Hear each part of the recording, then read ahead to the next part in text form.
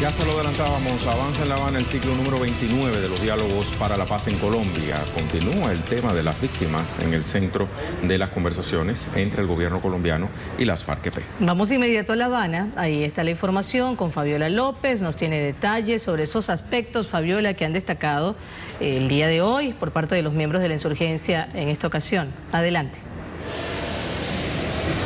Sí, un saludo desde acá, desde La Habana. Pues hoy la delegación de paz de la FARC comenzó, los diálogos de paz comenzaron con los Beatles, porque al entrar la delegación de paz de la FARC se escuchaban por los parlantes del Palacio de las Convenciones la canción Imagine de John Lennon. Y esto a propósito de unas declaraciones que hiciera el presidente Santos en Nueva York cuando decía que sería lindo imaginarse a una Colombia en paz. Esto refiriéndose, parafraseando también la canción Imagine de John Lennon. Y mm, Iván Márquez, que fue quien habló esta mañana, decía que ellos estaban de acuerdo, que también eran soñadores, aunque no eran los únicos, pero que pensaban que debía irse a, hechos concretos más allá de la retórica.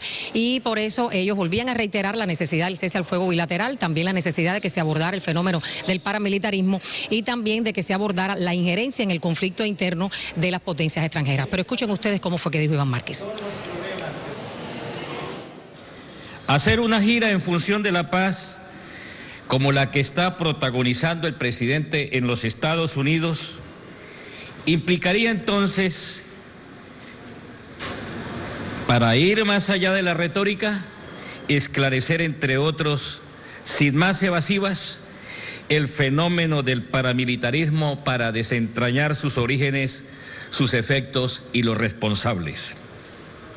Un complemento necesario es, sin duda, el abordaje de temas sensibles dentro de la confrontación, como son la injerencia en el conflicto interno de potencias extranjeras que mantienen a Colombia en condiciones de país ocupado,